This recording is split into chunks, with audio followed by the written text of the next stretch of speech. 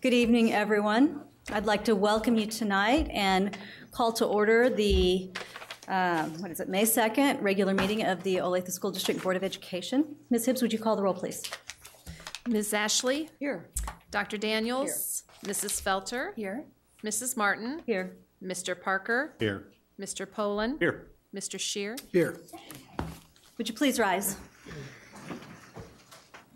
I pledge allegiance to the flag of the United States of America and to the republic for which it stands, one nation, under God, indivisible, with liberty and justice for all.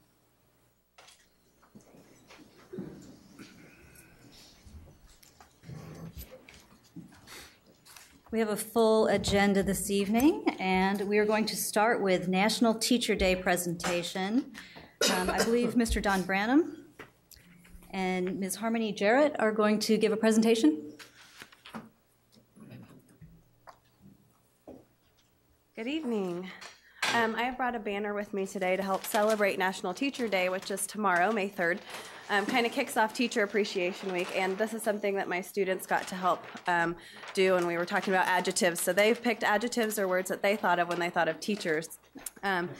It's a day tomorrow for us to celebrate, for students, parents in our community to celebrate teachers. Um, we've all come in contact with teachers throughout our life, and um, many of us working here um, come into contact with them every day still. Um, we want to make sure that we honor, appreciate, and recognize those teachers tomorrow. This tradition began in the 1940s and 50s when a teacher in Arkansas actually wrote a letter to Eleanor Roosevelt saying that we needed a, a day to honor teachers. Um, and since the 1980s, it's been federally recognized, nationally recognized as National Teacher Day. And uh, the first week of May is National Teacher Appreciation Week. So um, we'll be doing that next week. And I just wanted to share a quote with you guys that really inspires me. It's a quote um, from Aristotle that says, Teaching the mind without teaching the heart is no education at all. And I know um, being a para and an aide and now a teacher here, I've been around Olathe School District for the last decade. And I know that's something that we really strive to do in Olathe. Um, while teachers teach standards and curriculums and teach for assessments, we also teach um, values and really are learners right along with our stu- right along with our students. We're mentors, um, counselors some days, um, as well as teachers. So I hope um, that you think about that when you think tomorrow about teachers and next week, and realize that teachers have an impact long after. Um, the school day is over and long after the year is over. And I hope that tomorrow, especially on National Teacher Day, that you will um, think of a teacher that you know and maybe hug some that you see. So um, thank you and for having us. Thank you very much.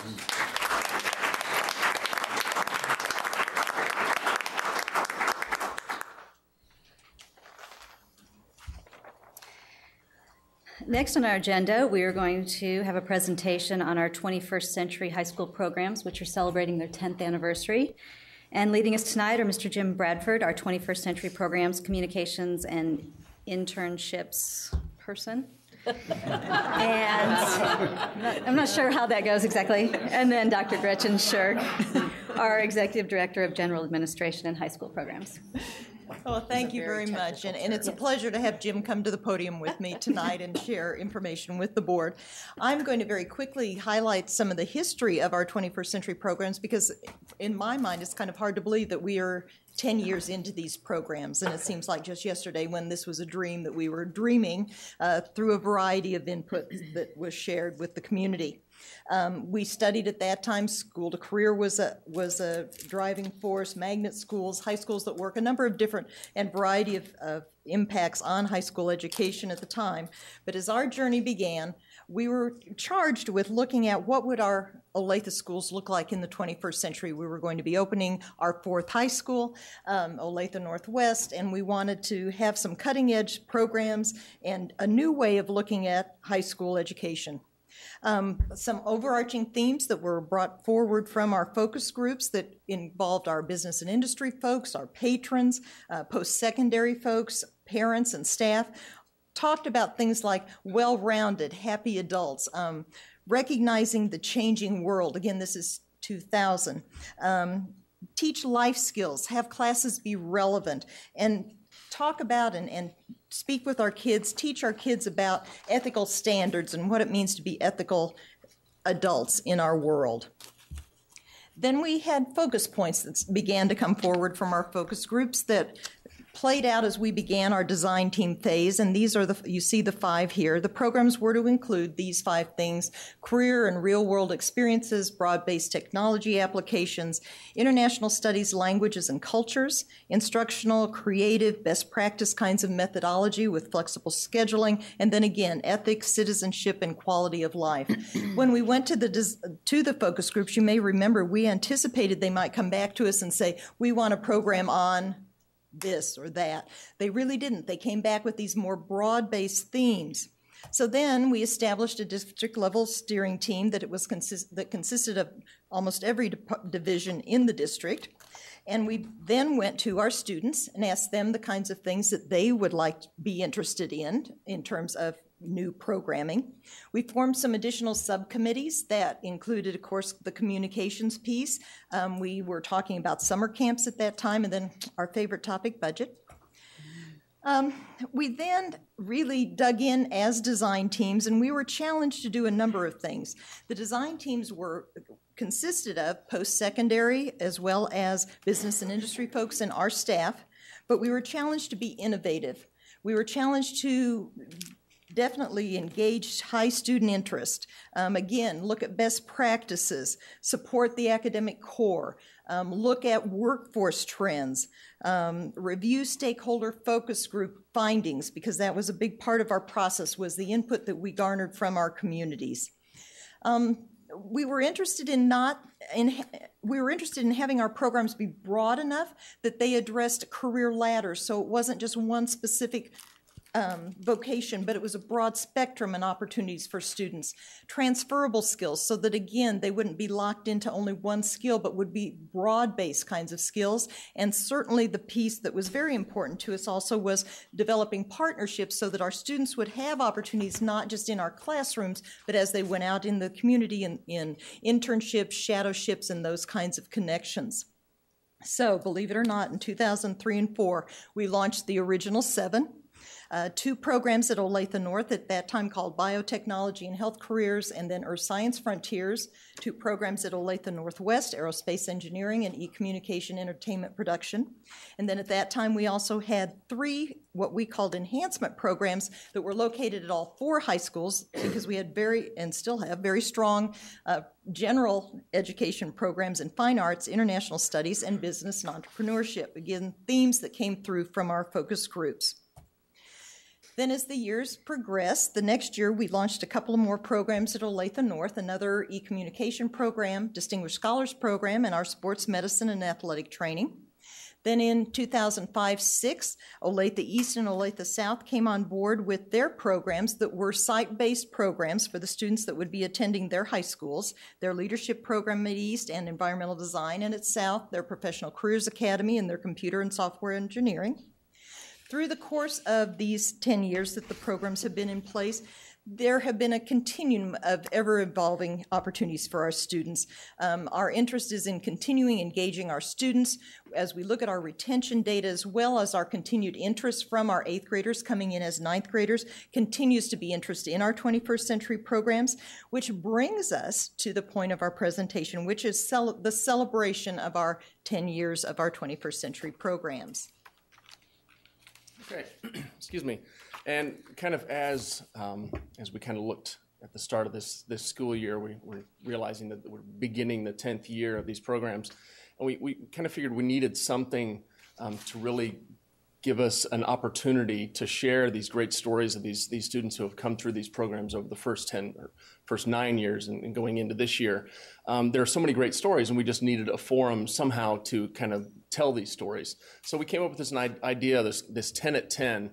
Um, pretty self-explanatory when you when you think about it. You, we did ten stories about ten alumni for the 10th anniversary of, of the programs.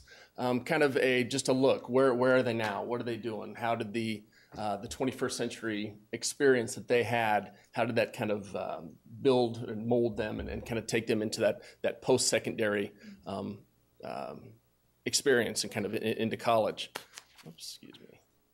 Okay, um, I'm, and I'm just going to I'm to talk about just a handful of these that really kind of stood out. We've we've put together. Uh, we're not done with this series yet. It's going to culminate here at the end of the school year and, and leading into our uh, um, the end of um, the first part of June.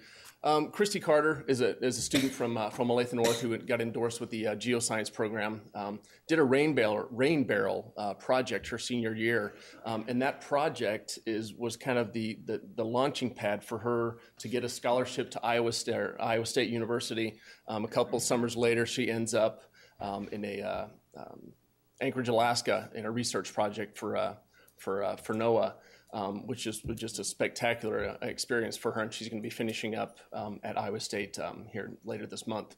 Uh, Travis Tannahill um, kind of got into the leadership um, piece at Olathe East, the leadership studies program. Um, kind of carried that over to uh, to Kansas State University, where he became a leader on the football team and was actually awarded the uh, Bill Snyder Leadership Award as a junior um, and was an all Big 12 tight end uh, for the uh, Big 12 champion uh, K State Wildcats this past fall. And actually, um, as um, timing of this couldn't have been any better, this past Sunday, Travis signed a free agent contract with the Cleveland Browns and will be going to, to minicamp with them later this month, playing tight end for, for the NFL, NFL team. A couple others Nate Warner was one of the first. One of the first uh, sports med um, really kind of that really took the uh, took the ball and ran with it uh, to to borrow a sports uh, analogy. Um, he the, the funniest thing about talking with him is is is he said from the start he said you know I just wanted to be an, an NFL medicine guy. That's how little he knew about doing what he wanted to do. Uh, so he went through the program, did some did some great work, went on to uh, went on to K State, worked with with their athletic teams. Um, ended up getting a, uh, an internship with the San Francisco 49ers.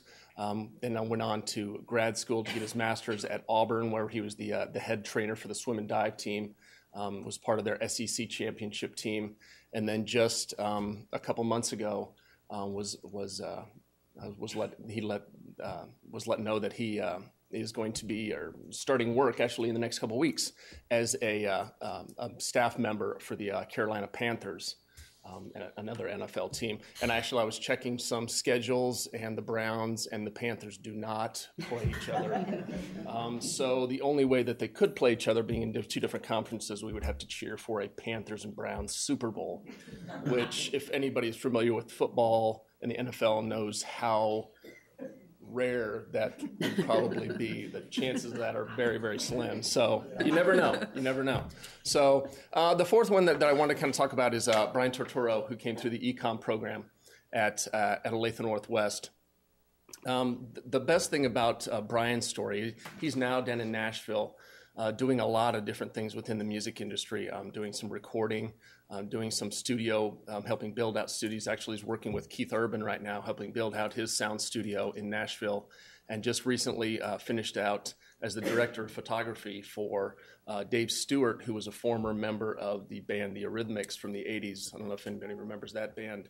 Um, he's doing some solo work now, and um, uh, Brian worked on his uh, 2012 documentary and was the director of photography doing that. Uh, I think it was 11 camera live shoot that he did that documentary on. So that was a, a big feather in the cap for him. And the best part about that is he was um, really didn't have a whole lot of post secondary education. Uh, took a few classes down at a uh, at a, um, a school down in Nashville, but a lot of what he's doing today, he said, is a direct correlation to what he learned from that eCom program. So um, that that really really um, kind of resonates with with what we're trying to do with these 21st century programs. Um, a, f- a few others that we've that we've talked with. We talked with um, um, Megan Zirin from uh, the Professional Careers Academy. She was over to Olathe South. She's working with the KU Alumni Association at KU. Um, there's another uh, gentleman that graduated from Olathe East with the uh, environmental design who won a uh, aircraft design competition, uh, took third place in a competition last year um, another uh, student from um, Olathe, mm, Olathe East. Uh, uh, anyway, we're, we're, working on the on the on the the ten the, the ten of them that will be done by the end of this month. So um, you can check on the uh, the 21st Century website has all of those, and they'll be they'll be up there, and, and you can read all about uh, these experiences um, throughout throughout uh, their college career and their post secondary career. Um, we are doing a uh, kind of a culmination of this of this 10 year um, um, celebration is going to be a kind of a, a celebration uh, we're going to have it at the, R, that the IRC, kind of a 10, 10th anniversary celebration on June 3rd.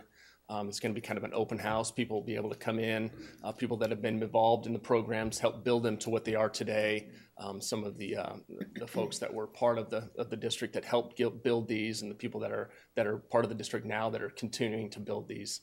Um, we'll have a chance to talk with all of the uh, facilitators for the current programs and some of their their previous students and current students. So it's an opportunity to, to maybe stop by and say hello and say thanks, and uh, just a, an opportunity to, to celebrate what uh, what we're doing here.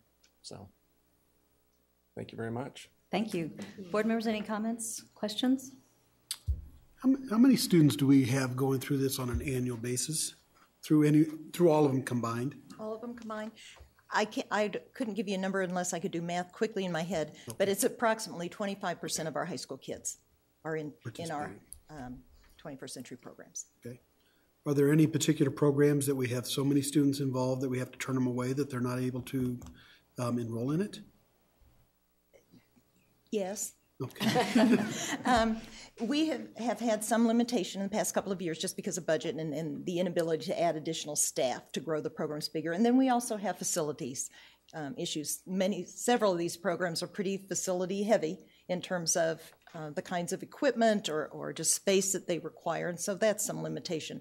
But in general, um, the the facilitators do a very nice job, and Jim does an excellent job of promoting and visiting with middle school students in terms of talking to them about what does it take to make this kind of choice for your high school career. So that I think we feel very confident. I know we do that the students who get in um, are the right students in the right place at the right time, and then they do have the opportunity to apply again their sophomore year if they aren't accepted uh, their ninth grade year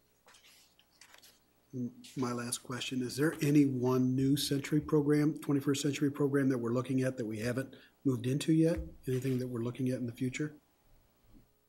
You know, over the course of the 10 years of the program, certainly other topics have surfaced, and certainly the world has changed over the course of the 10 years. So there are other um, particular other areas that may surface and may be of interest to be pursued in the future, yes.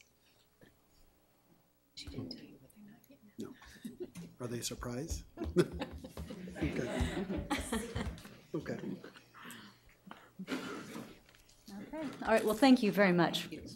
I'll make one comment. I would love to see us look at getting uh, ropes or cords for those that go through our program. Right now, there's no recognition at graduation like that, and I know I've heard from several that they would really enjoy that. They work really hard. Okay, next on our agenda, um, we do an annual parent and staff survey, and I believe that Dr. Allison Banikowski, our Deputy Superintendent, is going to make a presentation. I am. It's a pleasure to be able to provide you some information this evening. You've, of course, had written reports that articulated some of the results that we achieved. I'm going to talk to you a little bit about the employee staff survey uh, so that was requested last month, and a little bit about our parent survey. So it's a lot of information, and I'm just going to try and highlight some, knowing that you had uh, this information previously. The first one is first to remind us that we do do district surveys, and we gain a lot of input, and it helps us with our decision making. So it's very important. Uh, you notice that we do January and February staff, and then parents. And it is an anonymous survey. We provide it in both English and in Spanish, and we provide paper copies for those who either don't have access to technology or are uncomfortable with technology. And of course, we use the results both at the district level and at the building level. Uh, let's talk a little bit why surveys. I think that sometimes we have to remember that there's a good reason to use surveys.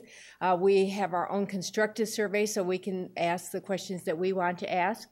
It allows us for disaggregation. For example, we can disaggregate between certified and classified individuals, or we can disaggregate by the different buildings so that a building can actually get their results and be able to react to those results and uh, helps us to look at uh, perception. And again, staff survey, parent survey, but we also do student surveys and gather perception data from our students in a variety of uh, ways. And uh, frequently had an opportunity to share with you some of the student exit survey results uh, at the culmination of their senior year. Uh, let's talk a little bit about the staff survey results, and I'm just going to highlight that. It's a lot of data uh, that you had last month in a, an executive summary. First of all, 78% of our staff completed the survey, and that is extremely high. Uh, you, as you look at surveys, it's lucky sometimes to have 20%, and that's considered statistically significant. We had 78%, so we should feel very good about that. Uh, we have continued to grow our classified individuals uh, as a group, and that has been a, a challenge that we've been working on. It's high, it's not as high as we would like it to be, but it is growing, and so we're pleased about that as well. We had the survey results results in five different areas, as you can see from the Board of Education, to some overall feelings. Let's just take a quick look. Here were the two questions that were asked about the Board of Education on the staff survey. And you can see that these are rigorously high, and we feel good about that. Uh, we always set a very high bar of 85% uh, minimally on our uh, results, so we feel very good about those results as well. And of course, I always think it's uh, challenging on that provides adequate resources when you work with what you have been given. So that sometimes is very difficult, and yet it is, it is high. Uh, as you look at all this data uh, as laid out of the screen, it's a lot of information to look at. And I thought I would just pick out a couple that we looked at for an improvement. And this is areas that we either uh, trend wise isn't moving as fast as we'd like it to be, or maybe it's not high enough to. We always try to look at about 85% with our plus or minus uh, confidence interval there. So you can see that we have uh, the district ideas. Uh, that's an area that we continue to look at um, and making sure people un- understand that we're asking them for input. Uh, and uh, sometimes we think we ask too many times for input, uh, but that's something that we want to, to look at. Uh, financially, uh, making sure people are aware of that. Actually, that was quite a high percentage of unsure. So uh, I Mr. Hutchison has done so much this year to inform individuals about the budget, how the budget is developed, and yet that isn't as high as we'd like it to be. But again, a very high percentage of unsure.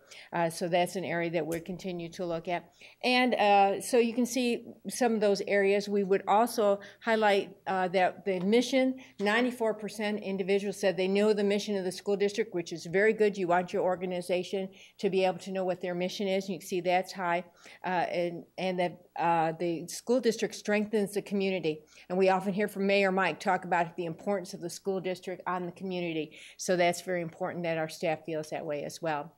Uh, as we look at this valuing differences, we can kind of lump them all together. They are very strong, which means we have a very good organization that's looking at valuing the differences that our people and our individual staff members bring to the to the organization. So that's very strong.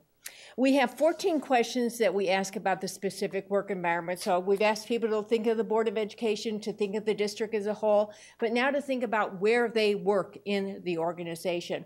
And again, you can see that we have um, some very, very strong responses, and we feel very good about that. Uh, I would highlight just a couple. Uh, the legal ethical behaviors of our administrative staff is very strong, and our staff recognizes that and that's very important. And you can also see uh, that um, one of the areas that we'd like to highlight is the recognition. We went up over 10 points in uh, staff feeling they've been recognized and appreciated for their work. And that's a great increase uh, for a survey to show that kind of increase. So I think we should highlight that. We also should highlight the, the uh, area that talks about, look down here a little bit, uh, a very safe and uh, safety in our uh, organization, and that's an, also a very strong, a safe and secure work environment. 92% practically. I mean, that is extremely strong, especially in a day and age when people sometimes aren't as secure at their work environment. So that's very positive. The uh, next one that I want to just highlight is workload. Uh, that's a challenge for us. It has been a challenge for us, and certainly as we uh, reduce the number of staff members doing the same amount of work or more, uh, that may be an area that we are challenged with with, but it, also a very positive one is our 90, almost 92% saying that they're able to use their talents and skills. Let's kind of look at uh, the comments. We had a lot of people that like to leave comments, which is great. 530 uh, uh, comments were left by 441 respondents. And you can see lots of compliments, and that's always exciting. Some concerns and questions. Uh, let me highlight just a couple of those. Uh, for example, concerns were technology access.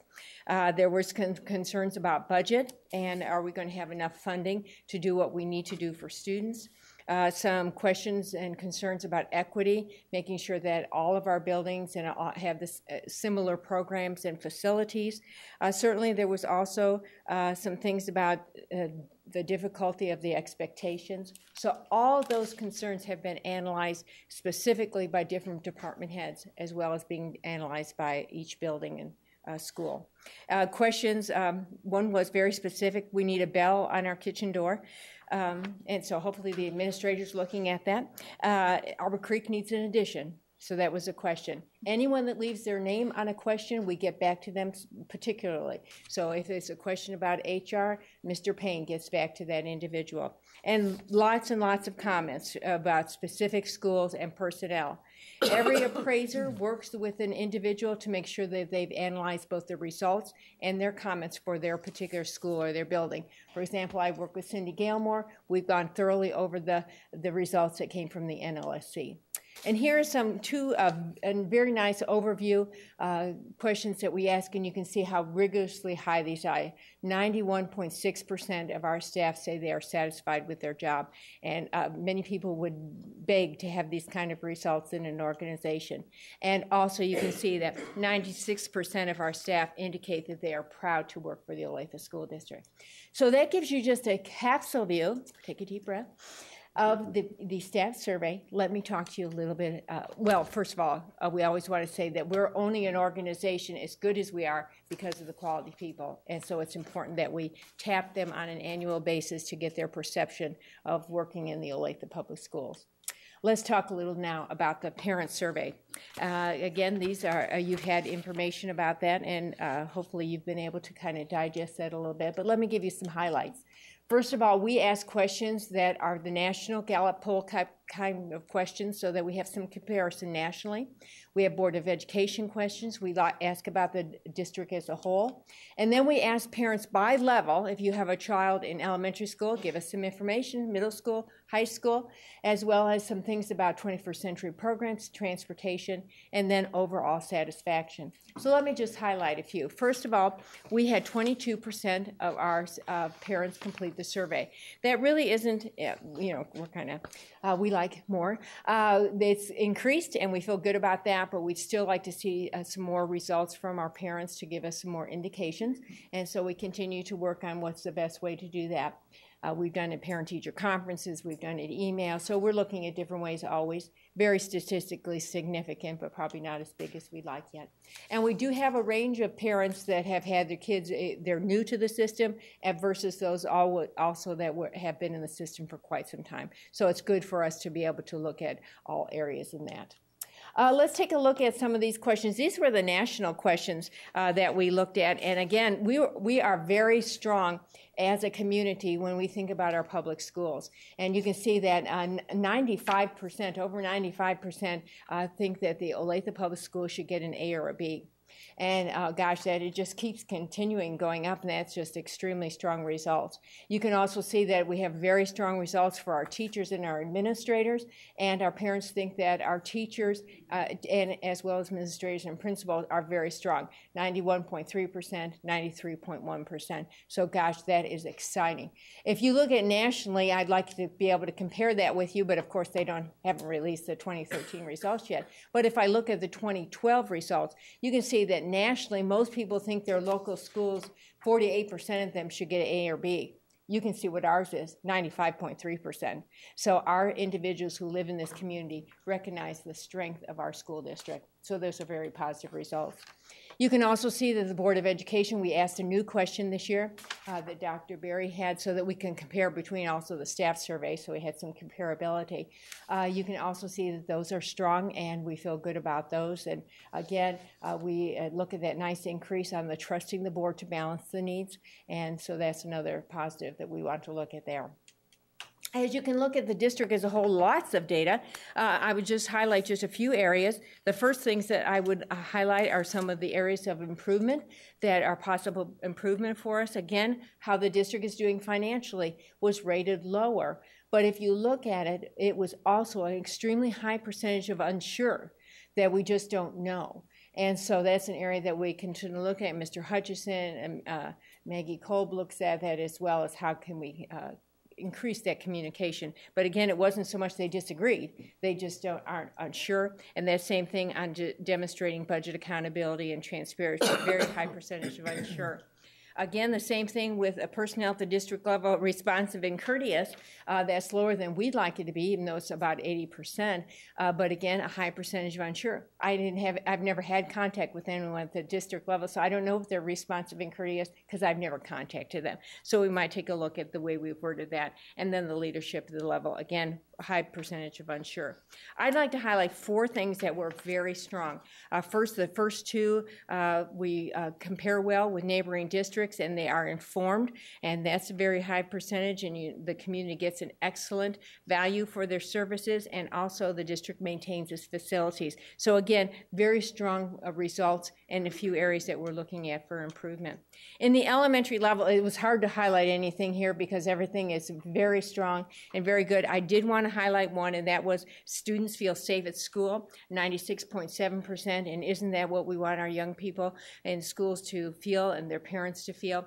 But also look at that addressing bullying, how a great increase there from uh, 79, almost 80% to 88.4%. That's a great increase, and we want to celebrate that increase. Uh, an area that I put put in blue, it's not really up to our 85 yet, uh, but was the healthy uh, choices for meals, and you can see we've increased from 74% to almost 78%. Uh, so that's a great communication that we're doing in that area. Again, very strong results at the elementary level very strong results at the middle school level and some excellent strengths here. And I'd like to highlight just the, the bullying behavior, addressing bullying behavior. Uh, great focus. Dr. Dugan uh, has helped with the principals, has great uh, uh, leadership in that area. You can see the great increase we've had in that area. As well as you can also see at the middle level, starting to how important it is to have athletics and activities, and you can see that's up to 93% feel that's very important. So those are some very good strengths there, very positive. And at our high school as well, I would highlight some of the same ones. The safety for our students is very strong. And then the bullying behavior, addressing that, you can see that we're uh, making a great Im- impact in that. So, uh, of course, the foundation also with the Rachel's Challenge program was another facet of that this year. So very much strength uh, in our high schools as well. So our levels came out very nicely for our parent surveys. Our 21st century programs, we just heard all about, we have data on an annual basis to give us some indication of that. And I love that second one. 90.4% say that the program is a challenge for their student. And don't we want to challenge our students? And we saw that at the other levels as well, academically challenging our students. Transportation, the area I wanted to highlight here was the bus company is responsive to my concerns. We went up from 68% to 78.3%. Uh, and I know uh, Mr. Green has been working with the first student to make sure that that was a, a, a, focus for them. And as well as you can see, the bus company has enhanced communication. And part of that we wanted to make sure was happening this year. And you can see a great increase there as well. Well, we had lots of comments, and we are just now analyzing those comments. Uh, Rita for example, analyzes and looks at all the technology comments as well as the different indi- individual schools are looking at those. Uh, we've already had Mr. Payne bring forth uh, staff uh, comments, and we've analyzed that. And at senior leadership, we analyzed all those comments.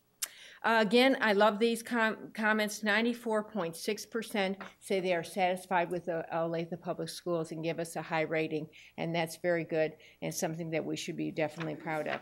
So we are taking all this data.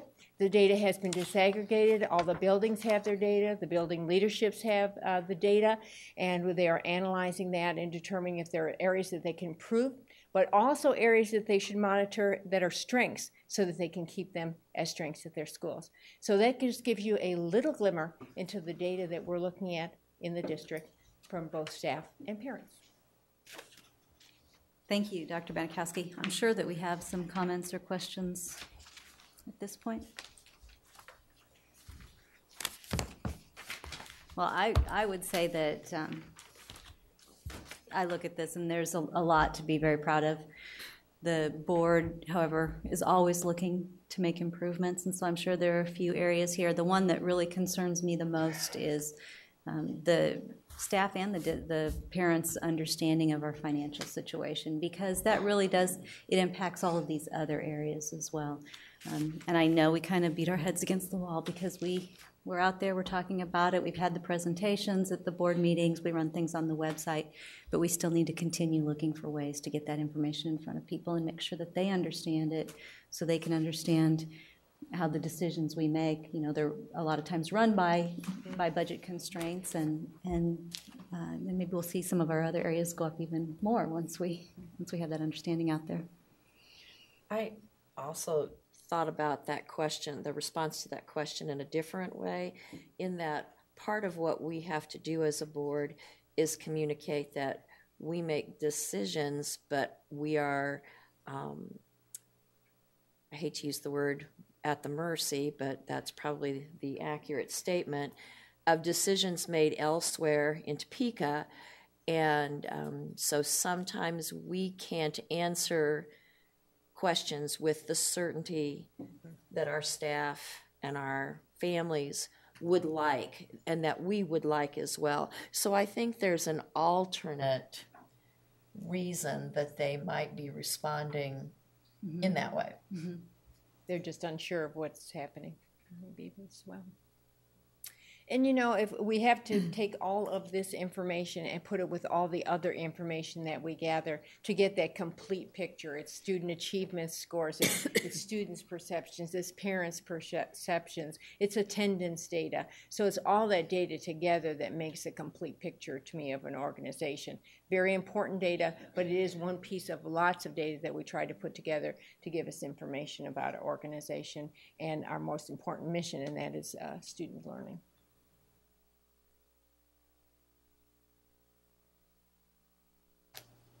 These guys are quiet tonight. I thought they'd have a lot more to say. Okay, well, if that's, if we don't have anything else, then I think we can move on with our agenda before we take our break.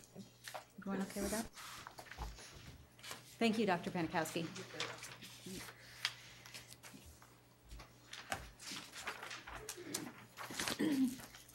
On our consent agenda this evening, we have our minutes, our reports, uh, a student trip, some curriculum decisions, instructional materials, our Head Start, and um, facility rental fees. Are there any items that board members would care to pull for separate discussion or consideration?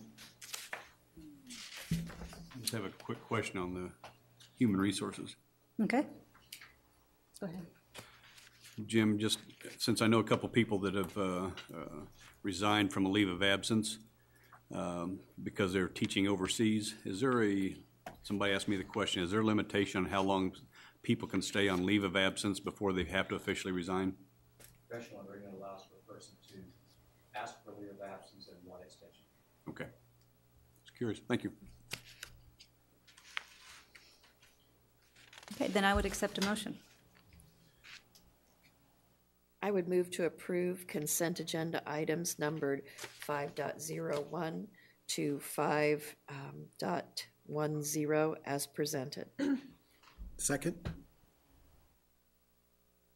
Ms. Hibbs, I have a motion by Dr. Daniels and a second by Mr. Shear. Would you call the roll, please? Yes. Mr. Shear, Yes. Mr. Poland, Yes. Mr. Parker, Yes. Mrs. Martin, Yes. Mrs. Felter, Yes. Dr. Daniels, Yes. Ms. Ashley. Yes. Under our bids, contracts, and agreements, the first item we have is approval of our school resource officer agreement for the 2013-14 school year. Dr. Berry, do you have any comments to make on that? No additional comments? Board members, questions, comments? Then I would accept a motion. Move to approve the school resource officer agreement with the city of Olathe for 2013, 2014 as presented. I'll second. Ms. Hibbs, I have a motion by Mr. Poland and a second by Ms. Felter. Would you call the roll, please? Yes. Dr. Daniels? Yes. Mrs. Felter? Yes. Mrs. Martin? Yes. Mr. Parker? Yes. Mr. Poland? Yes. Mr. Shear? Yes. Ms. Ashley? Yes. And a profound thank you for the work that you all do in our buildings. We are very appreciative.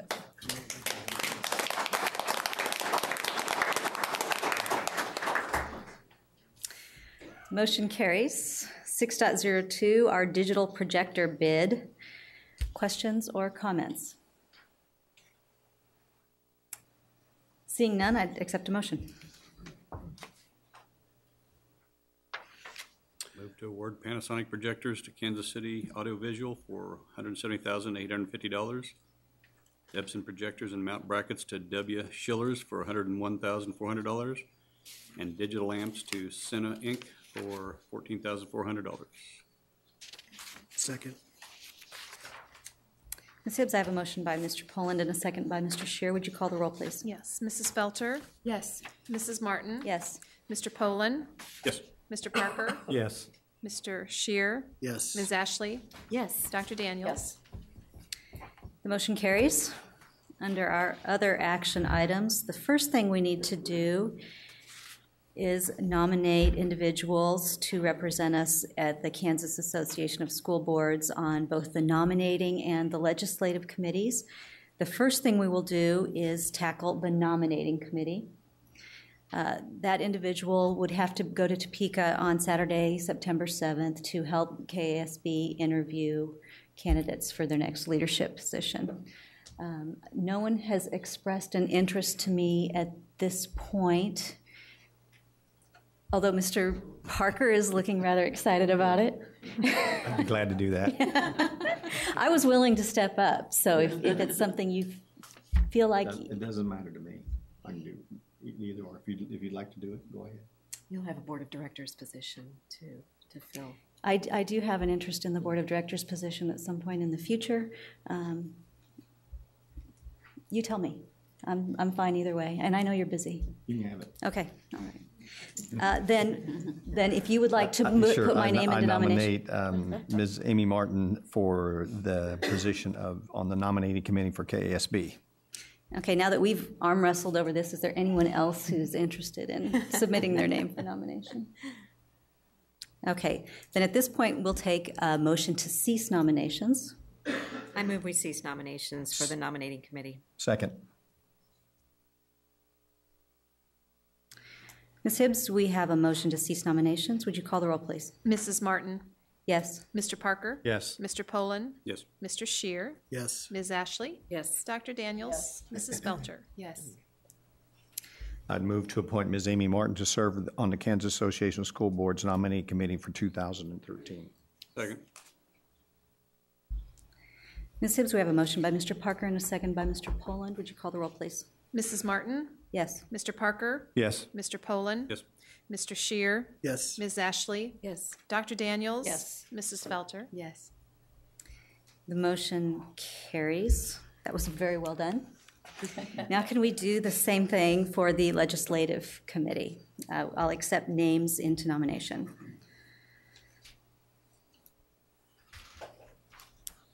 I know Mr. Shear has expressed an interest. Yes. I would be happy to step up for that. Anyone else? All right, then would someone care to place his name in nomination? I nominate. Actually, we nominate, have to cease legislative committee have to nominations. Okay, so we'll cease. I would move to cease legisla- legislative committee nominations. Second. Ms. Hibbs, we have a motion by Dr. Daniels and a second by Mr. Parker. Would you call the roll? Mr. Poland? Yes. Ms. Ashley? yes. Mrs. Felter? Yes. Mr. Parker? Yes. Mrs. Martin? Yes. Dr. Daniels? Yes. Mr. Shear? Yes. And I would be very happy to then appoint Mr. Shear to serve on the leg, on the Kansas Association of School Boards Legislative Committee for 2013. Very happy. Second. Ms. Hibbs, I have a motion by Dr. Daniels and a second by Mr. Poland. Would you call the roll, please? Yes. Ms. Ashley? Yes. Mrs. Felter? Yes. Dr. Daniels? Yes. Mr. Shear? Yes. Mrs. Martin? Yes. Mr. Poland? Yes. Mr. Parker? Yes. The motion carries. I think it's there twice. Yeah. Okay, we'll move on to 7.02, uh, student trip MathCounts. Questions or comments? No, then a motion. Uh, Madam President, I would move to approve 7.02, 7.03, and 7.04 student trips. Wow. Second.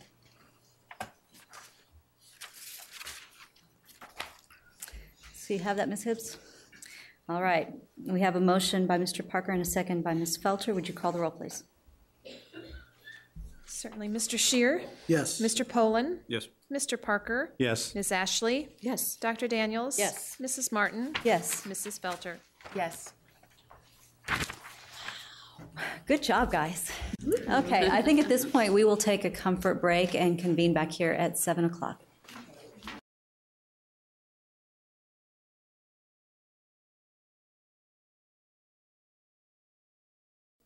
Quieted down so nicely. I hate to make you wait.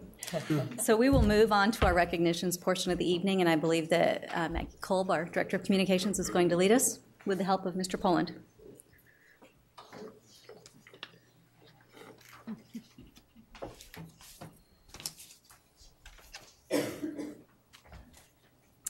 Good evening. We have numerous recognitions tonight. I'd like to welcome all of our distinguished guests. We're going to begin our recognitions tonight with a business partner. I'd like to ask Heather Schoonover from Community Development to come forward to help with this recognition. Tonight we recognize the Olathe Medical Center. The Olathe Medical Center, along with the entire Olathe Health System, has consistently been a premier business partner with the district through numerous programs that serve students, staff, and school families. OMC has been a tremendous supporter of the Olathe Public Schools Foundation and has donated more than $1 million to the foundation since it was founded in 1997. The Medical Center has been a great support to the foundation and district by targeting health and wellness projects. Grants help bring walking paths, reading programs, and support to sports medicine programming and project graduation. Each May, seniors who are planning for a career in the medical field are able to apply for the Olathe Medical Center scholarships. The Medical Center has always worked hand in hand with the district to serve those families with economic challenges. In August, they have stations at the back to school outreach to check blood pressure or provide health information. OMC contributions to the district are plentiful. A sampling includes donations to the School Nurse Emergency Fund to provide prescriptions, eyeglasses, hearing aids, walk in health care, and sports physicals for students donations to purchase health equipment for all of our health rooms, a long history of a positive collaboration to care for our student athletes, OMC's financial support of impact testing, which has proven to be a valuable tool in the diagnosis and treatment of concussions, providing first graders with the opportunity to take a field trip to OMC for Play Hospital, and the Bridging Education and Medicine or BEAM program, which allows secondary level students a chance to learn from physicians, tour facilities, participate in internships and job shadows, and also take part in community service opportunities. And these are just to name a few. Um, tonight, we recognize the OMC team that has been instrumental to the partnership with the Olathe Public Schools. I'd like to ask the following individuals to come forward Frank Devocelle, President and CEO, Mike Jensen, Chief Operating and Development Officer. Please come forward. Um, Nancy Ingram, Volunteer Services Manager, and I'd also like to ask Cindy Von Felt, Executive Director of the Olathe Public Schools Foundation, to come forward as well.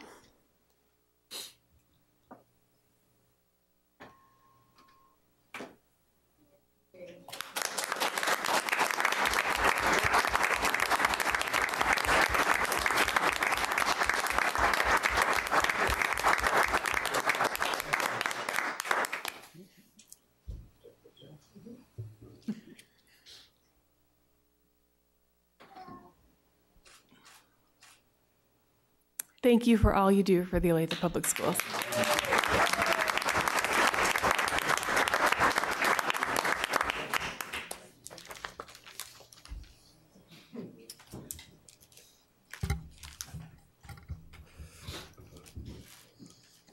Next, I'd like to recognize an outstanding educator who was recently nominated by the district for a national award. Would Suzanne Galamski please come forward, along with Principal Jim McMullen? Suzanne is a Read 180 teacher at Mission Trail Middle School and was recently named the district's Read 180 Teacher of the Year nominee. She is now in the running for the National Read 180 Teacher of the Year competition. In his nomination letter, Dr. McMullen said of Suzanne, she is an educator who truly makes a difference with her students each and every day. There is no greater impact on student learning than a highly effective teacher, and she is truly the best reading teacher I have worked with in my 17 years in education. Congratulations, Suzanne.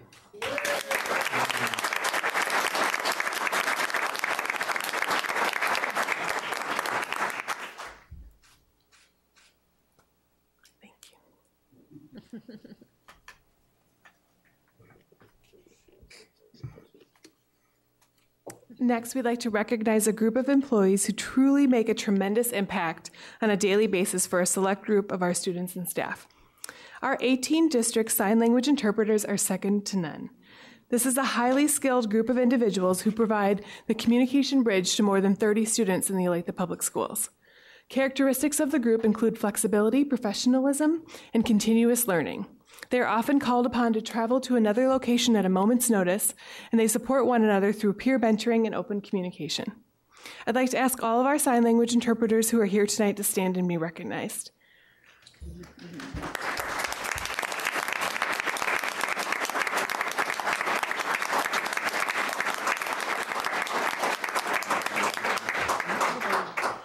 In addition, four of our interpreters were recently uh, recently received national certification through the Registry of Interpreters for the Deaf by studying for and passing a national examination and submitting documentation to the National Registry. I'd like to ask the following individuals, along with Assistant Director of Special Services Deb Chappell, to please come forward.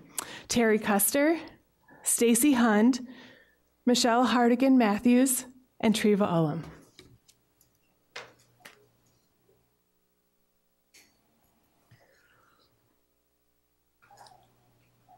And congratulations to each of you.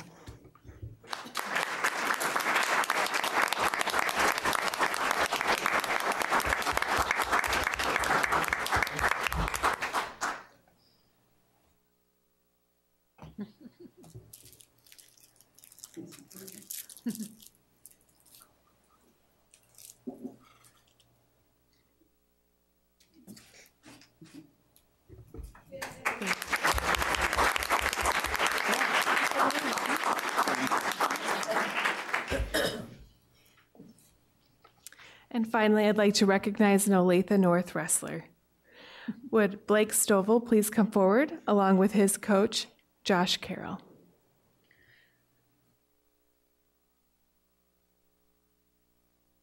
Blake, who is a freshman at North, recently won the Kansas State Championship in wrestling for the for the 126 pound weight class. Blake was 35 and 7 on the year and also won the regional championship. Congratulations to you.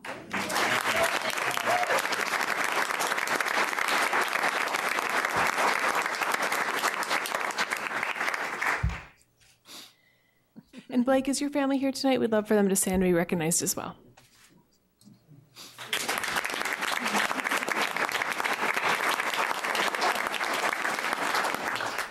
Congratulations. And that concludes our recognitions this evening. Ladies first, freshman, state team. Wow. Future action items.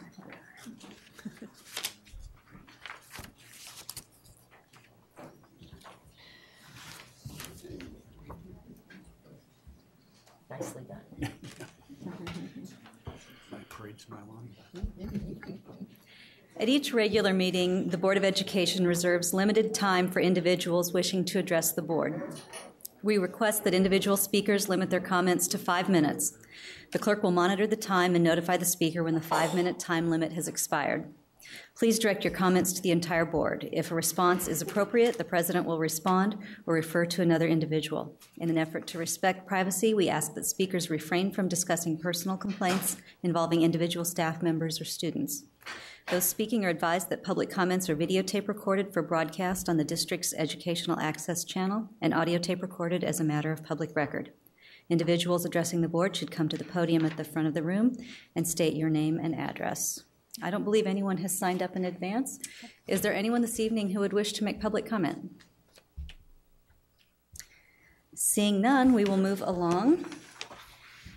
Next on our agenda is uh, future action items. We have several listed here that you can see on the screen. Are there any items that board members would like to hold discussion right now? I would like to take the opportunity to address the dues increase 8.01 for Kansas Association of School Boards and the National Association. Any other items? I had some comments about that too. Okay. Anything else?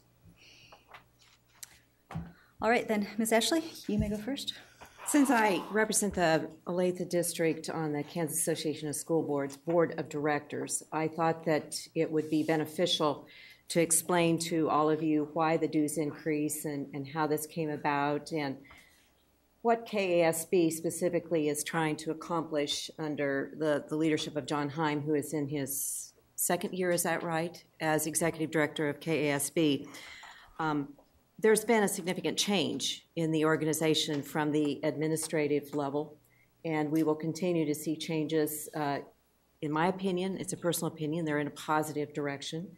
But they've done a really massive um, reevaluation, I, I guess you would say, of the internal organization as to how they should be taking care and representing their membership. Uh, they recognized that there was a need for a dues increase, and I would have to say that probably the primary reason for the dues increase is that attendance at the state convention is down, and that is a revenue producer for the association. Um, there are a lot of reasons that attendance at the convention is down, not the least of which would be, as in our district, uh, fewer board members are participating in those events because of the cost of, of going to those. Sometimes it's a, a travel requirement and people don't go. Uh, we all, many of us, have full time jobs, and to give up uh, a weekend is difficult for us to do. So, in general, they've seen a decrease in participation at, at the state convention. As a sidebar here, participation in the national convention is even more significantly reduced than the state convention, and that, as you might guess, is because of the cost of going to, to those conventions. But that's down um, I'm going to guess, and Marlon, you might correct me if I'm wrong, I want to say about 60%. It, it's very significant. So, um, what KSB is doing, getting back to, to them, is looking at what other ways of delivering services to the members of our association should we be looking at and pursuing. And as you know, we've had webinars this year. They're trying to do more and more digitally uh, to reduce the cost. And they're even looking at whether or not the state convention should continue, or if it should continue on an annual basis, or what could take place at the convention. I mean, we've not made any decisions at this point. It's, it's in a study, study phase. So long story short is they don't have uh, as many revenues from the convention as well as some from some other resources. So they decided to go ahead with a dues increase. And as you noticed from the agenda item, rather than saying it was going to be a percent increase or redo the formula, they just decided to do $700 straight across the board. And I could go into the details of the budget if you'd like, but I guess that we'd probably rather go home with the weather the way it is. But bottom line is this $700 increase is is kind of like peanuts to us because this is $700 across the board. And just for you to have a comparison, the district in the state who paid the least in association dues last year, their dues were $3,900. They're going to be paying a $700 increase, as is every district across the state of Kansas who is a member. Our, our dues are set based on our student population? The formula for, and I brought that because I thought that might be a question. The formula for arriving at the dues number is to take the total of our general fund plus LOB on March 1st. Am I doing okay, John?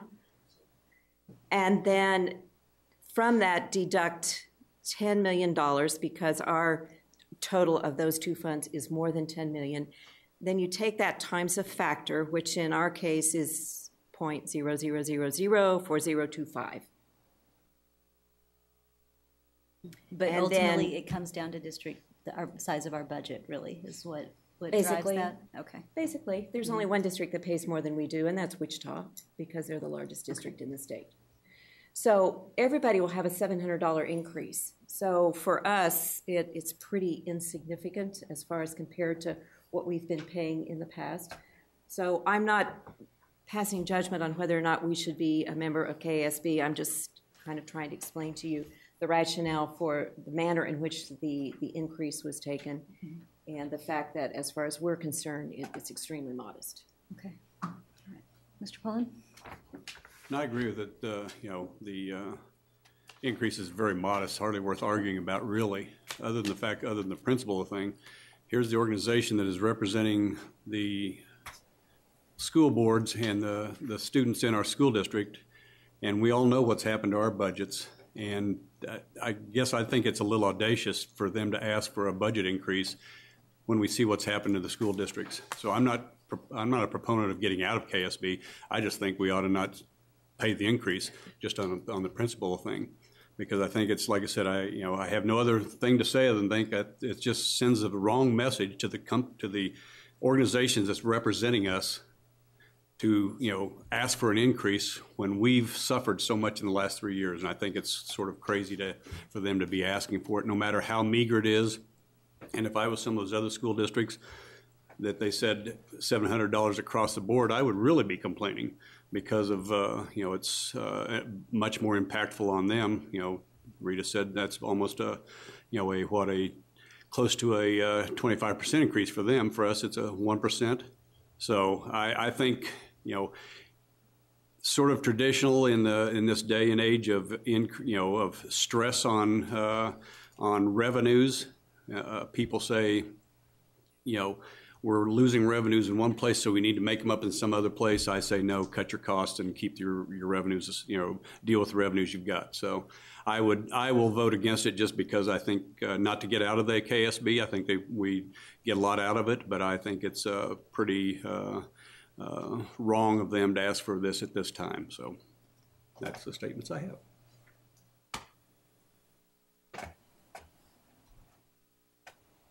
Okay, anything else? The next item on our agenda is uh, um, our monthly Head Start Director's Report. Um, no comments or questions there? Then are there any topics for discussion that board members would like to bring up right now? Just, just a couple just came from the meetings tonight. Okay. Uh, the, the ropes that Leah asked for at graduation, is that something that we can, I didn't really hear a response to her. Yeah, it's something we'd look into in terms of with our high school principals. It would not be possible yet this year, Right. unfortunately, but we can certainly bring that back. Okay, I just didn't, didn't hear a requ- or a response to that.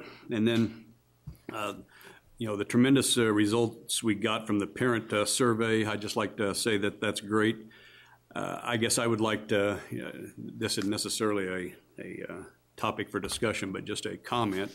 I didn't think it was a time to do it before, but uh, I, I wish there was some way of translating those parental results into election turnout because we still had, what, only 7% turnout? And I think it's, uh, you know, it's a uh, sad commentary on the fact that we only get seven people turning out for such an important, you know, election as who, you know, governs the control of your, your kids. So I just wish there's some way of translating that. It's, once again, just a comment, so. All right, thank you. Dr. Berry, what do you have for us? Just a few comments tonight. Um, early this morning, I had an email encouraging me uh, that I could go down in history as the first superintendent to call a snow day in May. um, and my response at the time was, "Nice try." I mean, we'll we'll, uh, we'll kind of watch it and see. I did hear the number, and I, I don't know if it's as of yesterday or if it included today's, but we have canceled uh, over 120 events this spring. Uh, so it's again been very difficult on our kids to try and participate in softball, baseball, track, and so forth. But uh, we'll keep after it. Um, we are down to 15 school days, uh, really officially 14 and a half. Um, the good news is after that, it's only 57 work days until we get the kids back. So uh, um, it's not, not too far uh, of a turnaround there. I want to share just a couple things. One thing that you may have seen um, U.S. News and World Report does a study where they rank high schools. So they rank the high schools in Kansas and we made the list. Uh, very pleased to report, if you hadn't seen it, Olathe Northwest uh, High School ranks as the number four high school in the state. Uh, Sumner Academy of Arts and Sciences and two Blue Valley schools, and then Olathe Northwest. So we're very pleased to make the top end of that uh, ranking this year, and, and uh, we'll share that out. Uh, factors that are considered include student-teacher ratios, college readiness, which is measured by advanced placement tests, math proficiency, reading proficiency. They look at whether low income black and Hispanic students were performing better than average compared to uh, similar students across the state. I mean, there's a pretty extensive look in terms of how they rank the schools. So, again, we're very pleased with that. Yesterday, we had the chance to go uh, recognize a senior from Olathe North High School, Brendan Porter. I thought maybe his artwork was going to be here tonight, but Google uh, nationally runs a competition called Google Doodle, uh, where you take the Google logo and make it into an art uh, picture.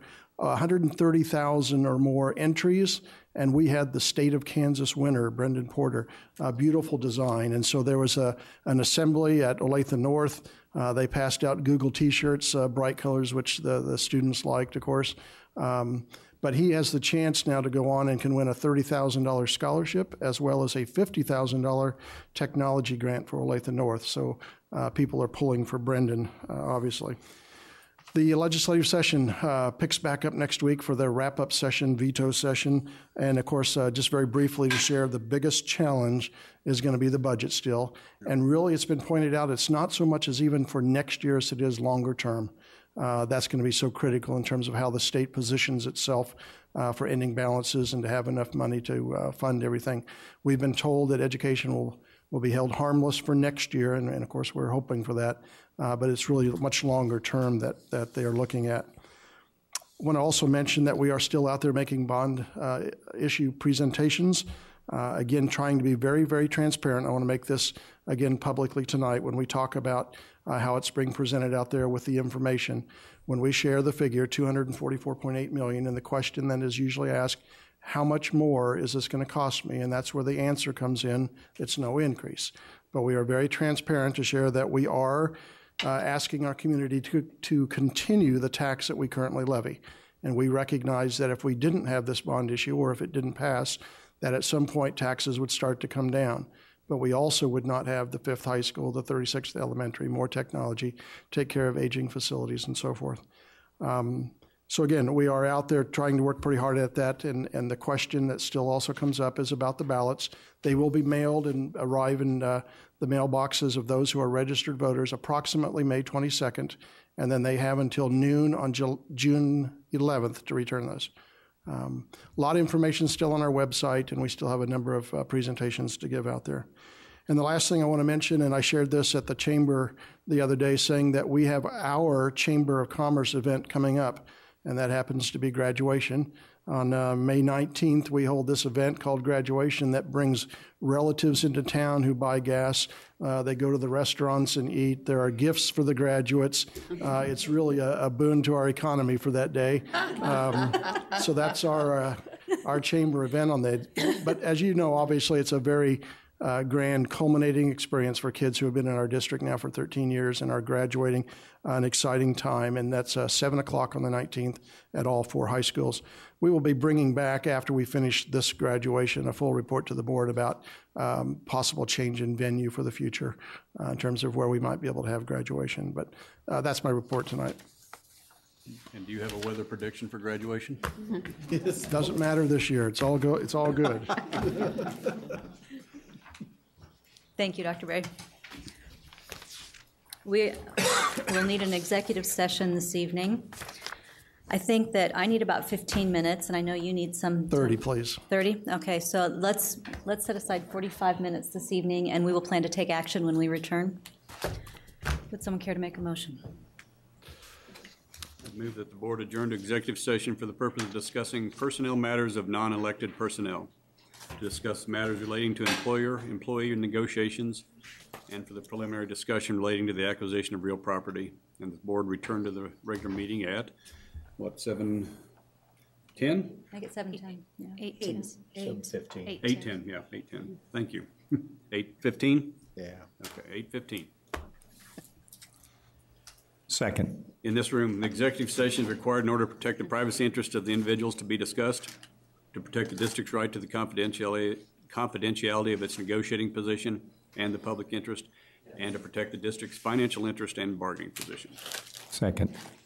Ms. Hibbs, I have a motion by Mr. Poland and a second by Mr. Parker. Would you call the roll, please? Ms. Ashley? Yes. Mrs. Martin? Yes. Mrs. Felter? Yes. Mr. Parker? Yes. Mr. Shear? Yes. Dr. Daniels? Yes. Mr. Poland? Yes.